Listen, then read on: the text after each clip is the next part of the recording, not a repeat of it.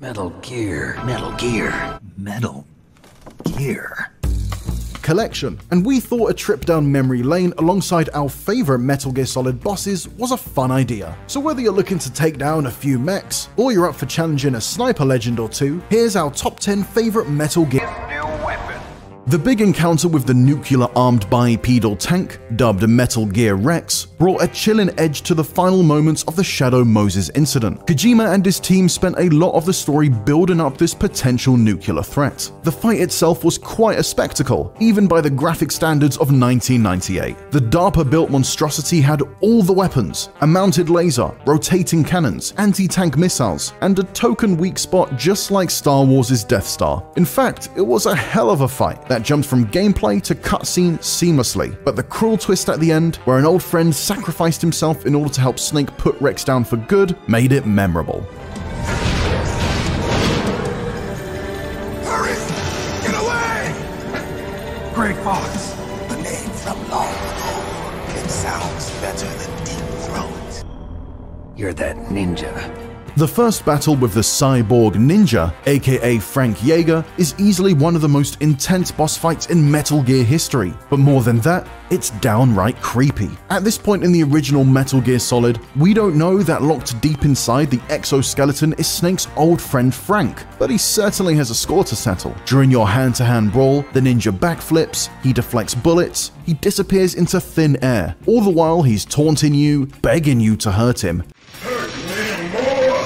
and drop in subtle cues that Snake should remember him. It's a palpable tension, both narratively and in the gameplay. This battle made you sweat and left you with more questions than answers about your formerly fallen comrade.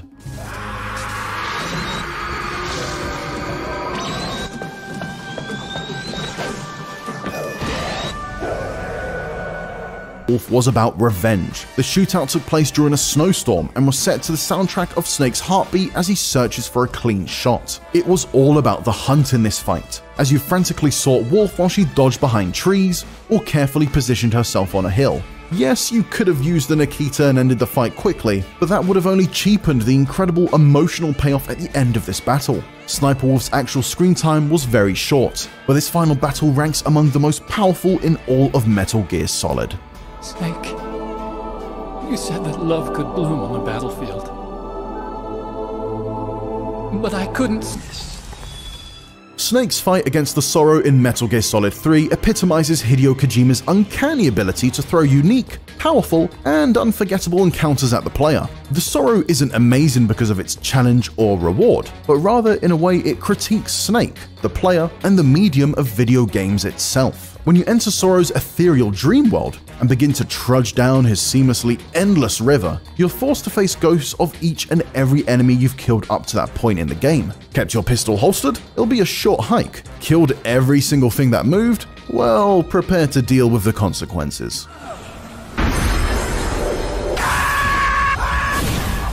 The importance of Psycho Mantis. He's the embodiment of all that is weird in the world of Metal Gear Solid, an outlandish rubber-clad ex-KGB Russian mercenary with psychic powers and a mean-looking gas mask, who spends the duration of the fight making you dodge spinning antiques. But it was his annihilation of the fourth wall, making you switch controller ports to avoid being mind-read, pretending to shut the TV off mid-fight, that helped cement Metal Gear Solid as a series to watch for its Your mission.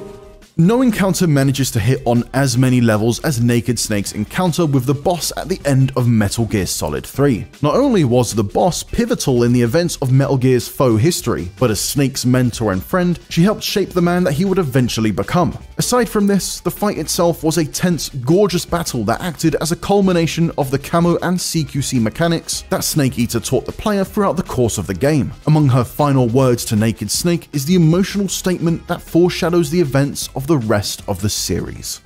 One must die, and one must live. No victory, no defeat. The survivor will carry on the fight.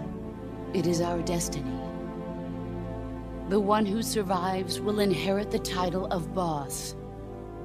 And the one who inherits the title of boss will face an existence of endless battle. I am here to send you to your ultimate fate.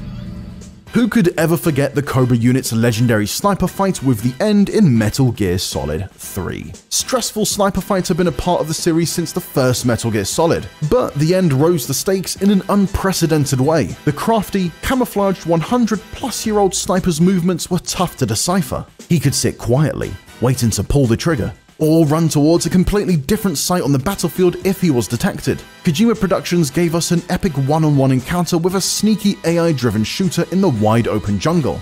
And for the first time, all the Pentazemin in the world couldn't remove the genuine feeling that you were the prey instead of the hunter. The unique approaches you can take to defeat in the end are what make him so special though. Being able to sneakily take him out hours earlier with a crack shot, or simply waiting for old age to catch up with him are both valid and very funny options that sets this great boss apart. For more videos like this one, make sure to watch our preview of the upcoming Metal Gear Solid collection, and for everything MGS and more, you're already in the right place with IGN.